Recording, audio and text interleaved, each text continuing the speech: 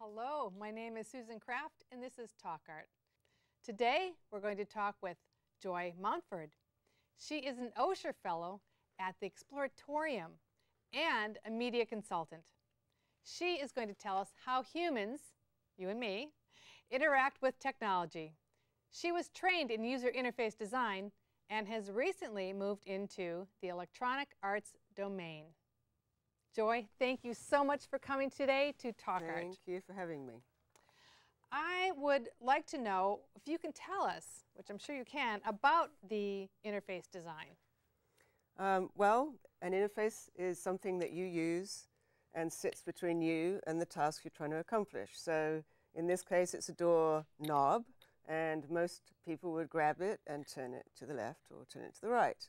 And that is an interface. Oh. Um, and the affordance, technical word, is something that tells you what to do with it. So in this particular case, you wouldn't turn this, you would push down and then open the door that way. So there's different affordances. Correct.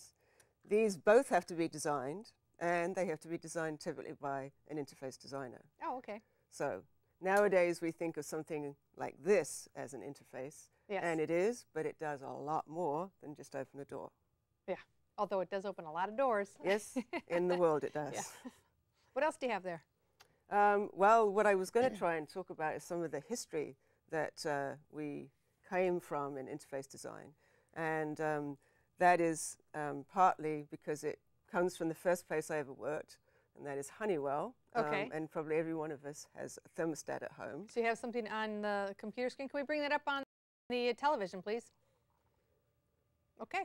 So um, obviously, as we just went through the doorknob, you can turn this and you see the display of the temperature in this Mhm. case, Mhm. obviously as it changes. Mhm. This took over 10 years for the engineers to figure Wow. out how to design something as simple as this. You're kidding me. 10 years to do that. Now, that was in the 50s, you said? M- Okay. 1954 was the first one of those that was shipped. So the ideas were worked on for a decade before. So it was, uh, were you telling me earlier that it was behind the scenes too, the, the electronics Right, that fit, so right. the design, the person could design the front, but Mhm, the, right. the people that were doing the electronics had to say, well, yeah, we can do that, Yeah, or, okay, so that took 10 years, okay. Well, in those cases, engineers were much slower than they are now. Mhm. But today it would probably take much faster amount of time. That's a joke. did better. Okay. But uh, the real problem was that most um, temperatures were done with levers that moved left and right. Oh, okay. And so they had to figure out a whole mechanism that actually turned. And Right. that was part of what was difficult. Right. I moved to Apple Computer. Can we bring up more on the, on the TV screen, please?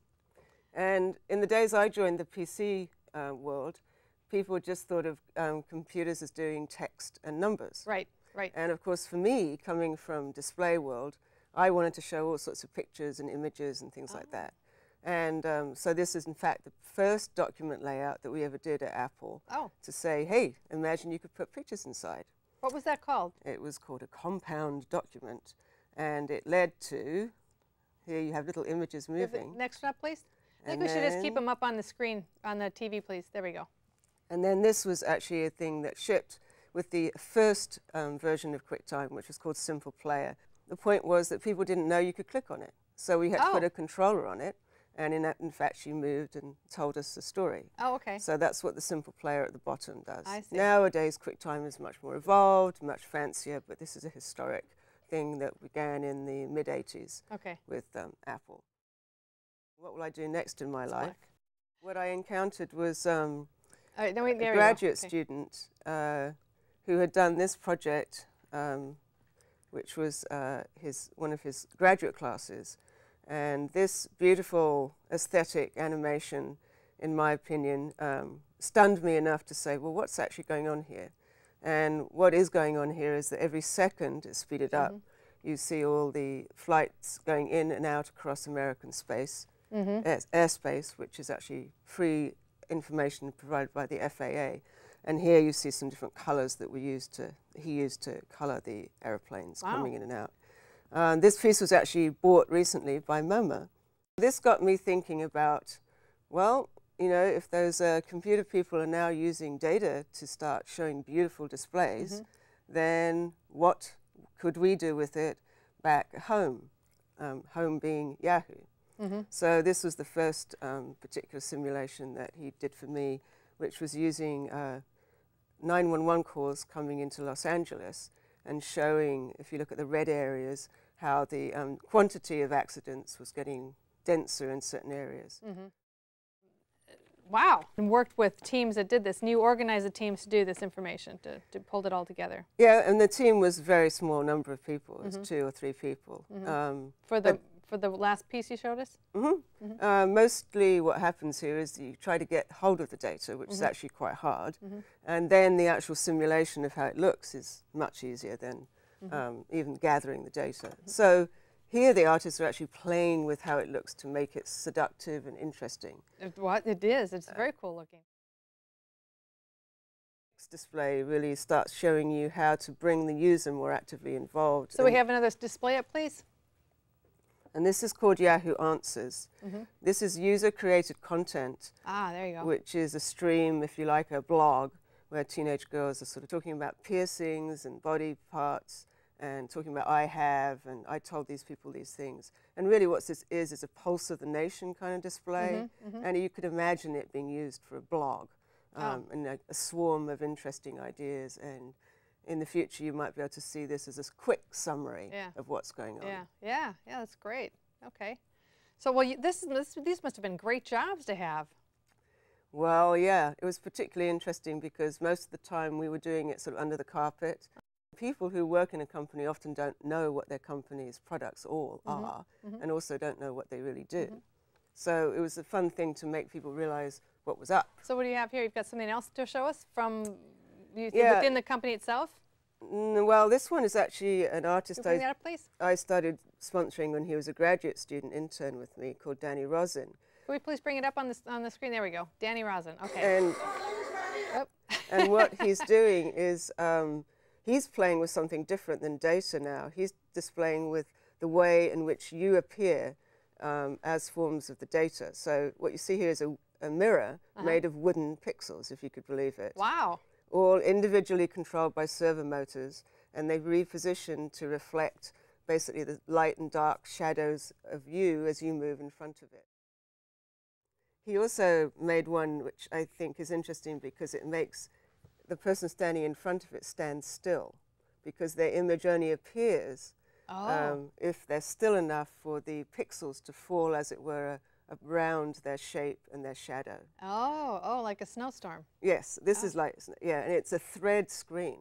Oh, okay. So you don't really see, again, high resolution, but also because the wind blows, it kind of Oh. floats in front of you very interestingly and very slowly follows you. So it's a shadow, snow. And this is effect. done inside Yahoo. Got a lot of cool stuff. Okay, now we've got uh, a fire plug. Yep, it's a fire plug. And what's that got to do with interface design? Right, well, we'll show you. Okay. hold So- tight. Hold tight. Um, so last week I was at the degree show at NYU at Mhm. the Interactive Telecommunications Program, which has 200 graduates a year Mhm. doing these kind of projects, which is pretty plug. scary. So what the fire plug does, it has um, a camera Uh-huh. and oh, uh, to project, and also um, a microphone on it. really? And what it does, if you stamp, if you can see the people moving their feet, Yeah. their little worms get projected onto the ground and then they crawl into a grate and disappear into the ground. What's this got to do with the fire plug? The fire plug has got the camera and the. Um, Oh, and it's pro- and it's, on it's projecting it down. Yeah. Oh my goodness. Oh, Right. so you don't know it's coming up from the No, fire plug. No, it Oh, just happens to be there right next to it. And because it's audio sensitive, I was showing you that it doesn't always have to be a visual thing that's changing, Uh-huh. but you can be making noise and have the display change. This is a graduate student project that he did probably just for a class. And who is this? Um, I can't pronounce his last name, but uh, he's uh, a graduate graduating this year and From um, from where was it again? NYU, NYU. New- York University. Okay, great. okay. Interactive Telecommunications Program. Inter- okay. Interactive cal- telecommunications program. Telecommunications, Okay, very good. Oh, we're up on the screen already. Okay, what do we have? Directly manipulating an interface. So this is getting closer to our world of the doorknobs, if you like. Okay. But um, in this case, what we have is an installation I put up at Yahoo, which is uh, a camera in the ceiling. Uh huh. And as people walked across what used to be the billiard room, Mm-hmm. they capture a passage of you moving over and that image is put back into the collage, Oh, which is pro- projected behind you. Uh-huh. And as you can see, this particular kid is very actively engaged Uh-huh. and particularly excited by it. And other people often are just not really aware that there's anything going on. And that's fine. Mm-hmm. People don't need to do anything. Their image will be projected. And other people, like, she's utterly oblivious, Mm-hmm. Uh-huh. right? She doesn't even know her image has gone in there. But Uh-huh. it can be taken either way. Uh-huh. And this is um, a very simple way of showing people. So this fellow thing. obviously was involved in the uh, in this project. The fellow That was talking. Scott Snibbe, who runs his own interactive Mm-hmm. uh, media company in San Francisco, who I worked with for many years. But Mm-hmm. I commissioned this piece for Yahoo's lunchroom. I see. So it, it looks like you could you could splay this off into just go into art just for the purely aesthetic, interesting, wild, you know, things, or you could go into the more nefarious CIA sort of undercover parts. And are people doing that? Do you know them doing going to both? My right? Yes. Is that it? True. Well, Okay. it depends if you want to get paid or not. nefarious will Yeah, get you paid. So uh, yeah, there's a lot of good money in the security business, and there's Yeah. less money in the arts. But Yeah. uh, what's interesting is that they play with the rules, so that um, for a company like Yahoo, Mm-hmm. anything like that, and they thought they kept saying to me, "What kind of people are they? Are they they're artists, right?" And I'd say, "No, no, no, they're programmers." And no, no, no, they're not programmers. They can't possibly be programmers, and yet you look at what they're actually doing. Mhm. It's The very program- sure, of complicated course, yeah, programming absolutely. Yeah. and mechanical engineering Mhm. as well. So. You bring up another piece, please. The browser here is a browser to all of the out of print books. Well, get this, people.